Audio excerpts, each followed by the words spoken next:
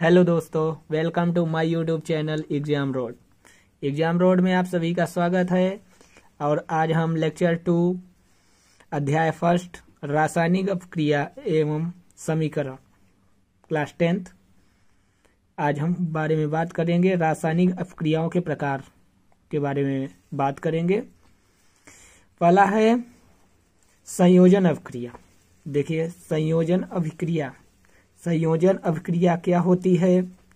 जब दो या दो से अधिक अभिकारक तत्व हो या यौगिक मिलकर एक उत्पाद का निर्माण करते हैं, उसे संयोजन अभिक्रिया कहते हैं।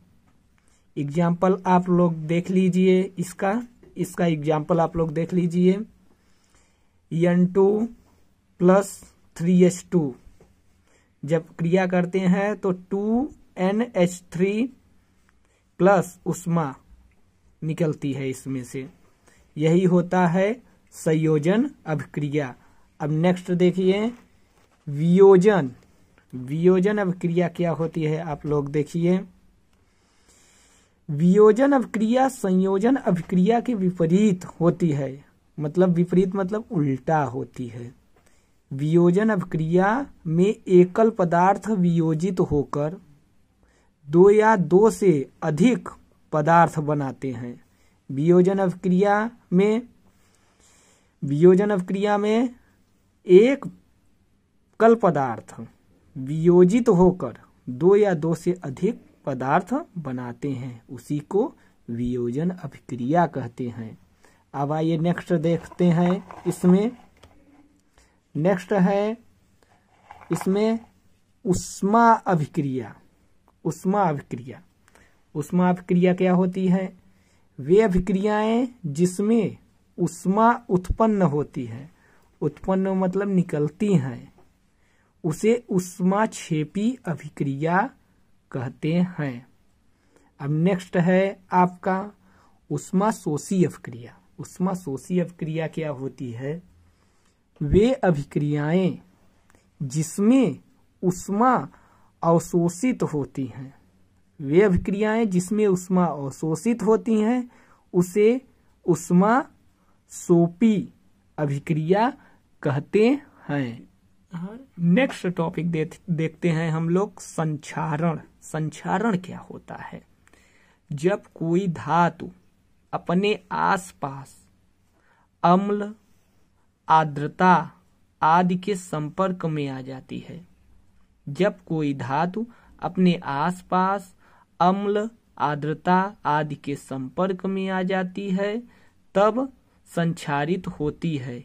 इस क्रिया को संचारण कहते हैं। इसका एग्ज़ाम्पल है, देखिए आप, चांदी के ऊपर काली परत और तांबे के ऊपर हरी परत चढ़ाना। यही संचारण है। अब आइए नेक्स्ट देखते हैं लोहे का संचारण लोहे का संचारण कैसे होता है हम लोग दे, देखते हैं। हवा। हवा कहिए या ऑक्सीजन ऑक्सीजन और आर्द्रता। आर्द्रता मीन्स नमी। जो हमारे वातावरण में नमी होती है उसी को आर्द्रता कहते हैं। आदि के संपर्क में होने के कारण लोहे का संचारण होता है। लोहे की सतहों पर भूरे रंग का हाई ट्रेड, फेरिस ऑक्साइड, इसका देखिए आप लोग, सूत्र F E two O three into two S two O की परत चढ़ाई जाती है। इसे संचारण या जंग लगना कहते हैं। जब ये परत आ जाती है तो इसी को संचारण या जंग लगना कहते हैं। नेक्स्ट टॉपिक देखिए। संतुलित रासायनिक समीकरण क्या होते हैं? जब किसी रासायनिक समीकरण में विभिन्न तत्वों के परमाणुओं की संख्या दोनों तरफ़ बराबर होती है तो उसे संतुलित रासायनिक समीकरण कहते हैं।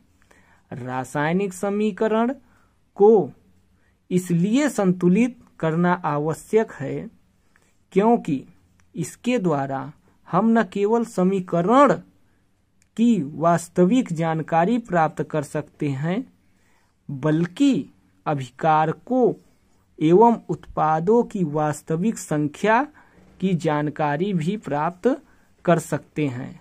हाँ जैसा कि यहाँ पे कहा गया है कि रासायनिक समीकरण को इसलिए संतुलित करना आवश्यक है, क्योंकि उसके द्वारा हम केवल समीकरण की वास्तविक जानकारी प्राप्त कर सकते हैं और उसके अलावा अभिकारकों एवं उत्पादों, जो उत्पाद निर्मित होते हैं, उसकी वास्तविक संख्या की कितनी संख्या में है, उसकी भी जानकारी प्राप्त कर सकते हैं। नेक्स्ट देखते हैं। काफ़ी जर्नलेटिक टॉपिक है। लोहे के वस्तुओं को हम पेंट क्यों करते हैं?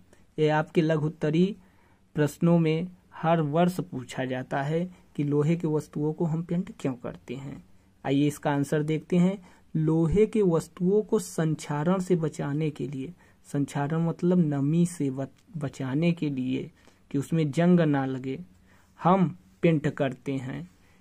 पेंट वस्तु की सतह तथा हवा या नमी के बीच। देखिए इसमें कह, कहा गया है कि पेंट वस्तु की सतह तथा हवा या नमी के बीच प्रत्यक्ष संपर्क को समाप्त कर देते हैं। जब पेंट हम कर देते हैं किसी वस्तु पर तो वह हवा और नमी को प्रत्यक्ष संपर्क को समाप्त कर देता है। इसीलिए हम लोहे के वस्तुओं को पेंट करते हैं। नेक्स्ट है अभिकारक। अभिकारक किसे कहते हैं? आप लोग देखिए अभिकारक। ऐसे पदार्थ जो रासायनिक अभिक्रियाओं में भाग लेते हैं, वे पदार्थ जो रासायनिक अभिक्रियाओं में भाग लेते हैं उसे अभिकारक कहते हैं। अब उसके बाद इसका, अब देखिए नेक्स्ट है उत्पाद। उत्पाद किसे कहते हैं? ऐसे पदार्थ जो रासायनिक अभिक्रिया के फलस्वरूप प्राप्त होते हैं। जब हम रासायनिक अभिक्रिया कराते हैं तो उसमें जो उत्पाद प्राप्त होते हैं, उसे ही उत्पाद करते हैं। जैसे देखिए F E plus S ferrous sulphide प्राप्त हुआ इसका क्रिया करने पर। आ यहाँ पर देखिए यफ, ई तथा यस अभिकारक तथा एफ़ ई, यस उत्पाद होते हैं। देखिए नेक्स्ट क्वेश्चन जो आपके एग्ज़ाम में बहुतों बार पूछा गया है। देखिए एथिलीन पर हाइड्रोजन की क्रिया से एथेन बनता है क्यों? क्यों बनता है? इसके बारे में हम लोग बात करेंगे। इसका आंसर आप लोग देखिए। एथिलीन एक असंतृप्त हाइड्रोकार्बन है, जिसमें कार्बन परमाणु द्विआबंध द्वारा जुड़े होते हैं। कितने आबंध द्वारा? दो आबंध द्वारा जुड़े होते हैं। जब ये हाइड्रोजन से क्रिया करते हैं तो इसका द्विआबंध द्वारा जुड़े होते हैं। जब ये हाइड्रोजन से क्रिया करते हैं तो द्विआबंध द्वारा जुड़े होते हैं। और नया एकल आबंध द्वारा संतृप्त हाइड्रोजन एथेन बनाते हैं। देखिए, इसमें कहा गया है, देखिए एक बार और देखिए कि नया एकल आबंध आबंध द्वारा संतृप्त हाइड्रोजन एथेन बनाते हैं। यह योगशील अभिक्रिया के कारण होता है। यह क्रिस अभिक्रिया के कारण होता है, योगशील अभिक्रिया के कारण होता है। देखिए नेक्स्ट है उष्मा छेपी अभिक्रिया उष्मा छेपी अभिक्रिया क्या होती है?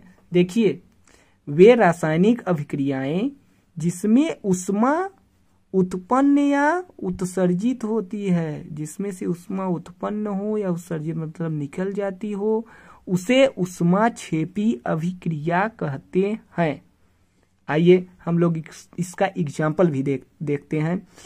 एक मोल कार्बन और एक मोल ऑक्सीजन जब संयोग करता है तो एक मोल कार्बन डाई ऑक्साइड बनती है तथा 44.3 किलो कैलोरी 44.3 कैलोरी उष्मा उत्पन्न होती है। अब इसका देखिए, यहाँ पे इसका देखिए जब कार्बन प्लस ऑक्सीजन सहयोग करता है तो कार्बन डाइऑक्साइड प्लस 44.3 कैलोरी भी उत्पन्न हो रही है। अब आइए हम लोग नेक्स्ट टॉपिक की ओर बढ़ते हैं। नेक्स्ट नेक्स्ट टॉपिक है इसमें उत्क्रमणीय अभिक्रियाएँ। उत्क्रमणीय अभिक्रियाएँ किसे कहते हैं? वे अभिक्रियाएँ जो समान परिस्थितियों में अग्र एवं पश्च दोनों दिशाओं में होती हैं। अग्र दिशा में भी हो पश्य दिशा में भी हो, और किसी भी दिशा में दिशा में पूर्णता को नहीं पहुँचती। उत्क्रमणी अभिक्रियाएँ कह लाती हैं। इसका एग्ज़ाम्पल हम लोग देखते हैं। जब फास्फोरस पेंटा क्लोराइड को गर्म किया जाता है, तब अपघटित होकर फास्फोरस ट्राइक्लोराइड तथा क्लोरीन देता है। इसे ठंडा करने पर पुनः फास्फोरस पेंटाक्लोराइड प्राप्त होता है। देखिए इसका समीकरण देखिए। PCl5 जब देखिए यहाँ पे अभिक्रिया किया जाता है तो P C L three plus C L two प्राप्त होता है। प्रिय विद्यार्थियों, अब हम मिलते हैं आप लोगों को नेक्स्ट वीडियो में। तब तक के लिए जय हिंद।